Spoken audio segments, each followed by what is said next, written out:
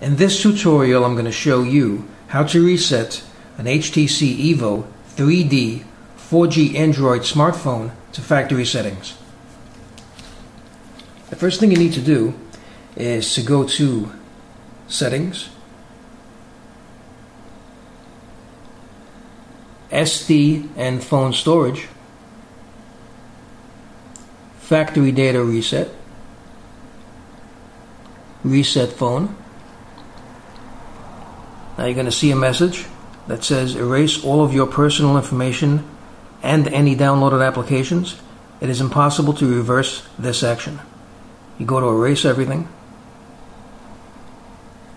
The phone is now rebooting.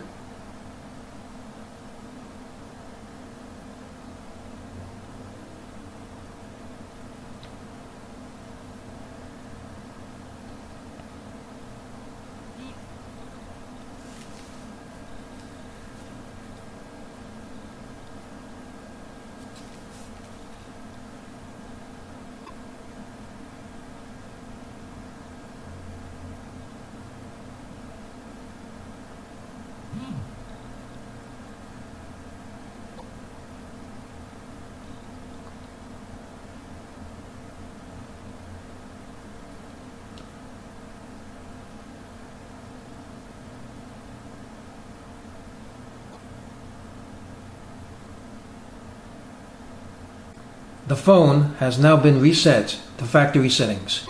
I hope you found this tutorial useful. If you have, please show your support for this channel by subscribing.